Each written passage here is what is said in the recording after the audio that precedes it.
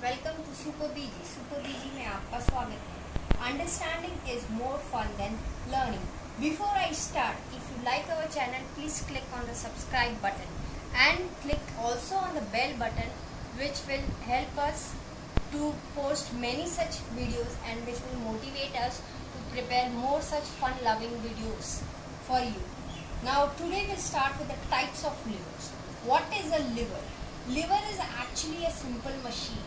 Simple machine, what exactly it is? It is actually a rod or a bar. As I told you earlier, lever is actually a rod or a bar, right?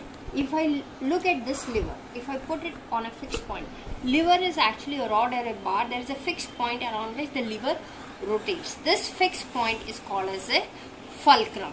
This fixed point is called as a fulcrum. In a first class lever, the fulcrum is between the load and the effort.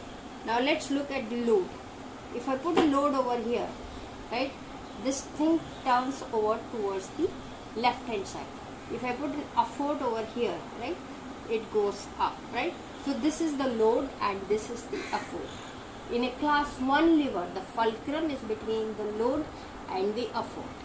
Distance between the fulcrum and the effort is known as the effort arm and the distance between the load and the fulcrum is known as the load arm. So this is a scissor. This is a type of a class 1 lever. Here the fulcrum or the fixed point around which the lever rotates is called the fulcrum. This is in between. So it is a class 1 lever. It is between the effort and the load. Right. So load if you put a paper over here. Right.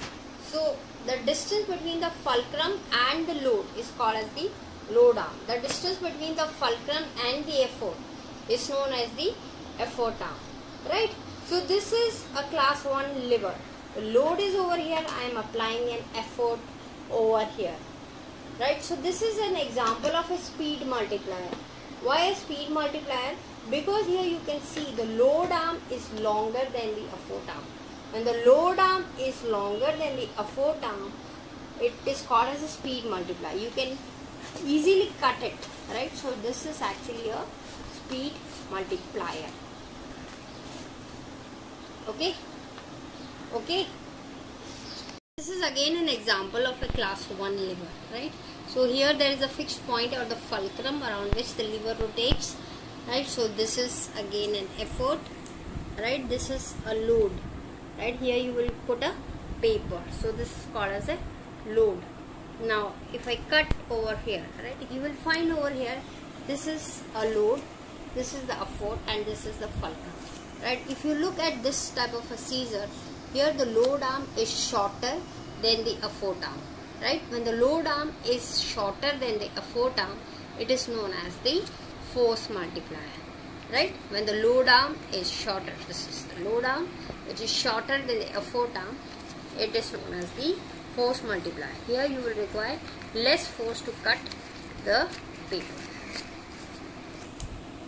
This is again an example of a class 1 lever right? There is a fixed point or a fulcrum around which the lever rotates right? So if you look over here this is an effort. This is an effort arm right? Here you will keep a load right? Here you will keep a load. Suppose i suppose i keep uh, this one here.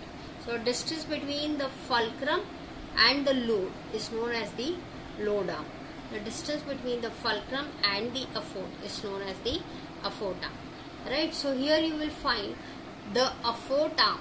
See this is the effort arm. The effort arm is longer than the load arm. So this is known as the force multiplier right the, uh, when the effort arm is longer than the load arm is known as the force multiplier but all these are examples of a first class levers because the fulcrum is between the load and the effort so we have learned about the first class lever. The first example we saw was like that of a seesaw, the second one of scissors and the third one is that of a plier. In a first class lever, the fulcrum, the fixed point around which the lever rotates is between the load and the effort.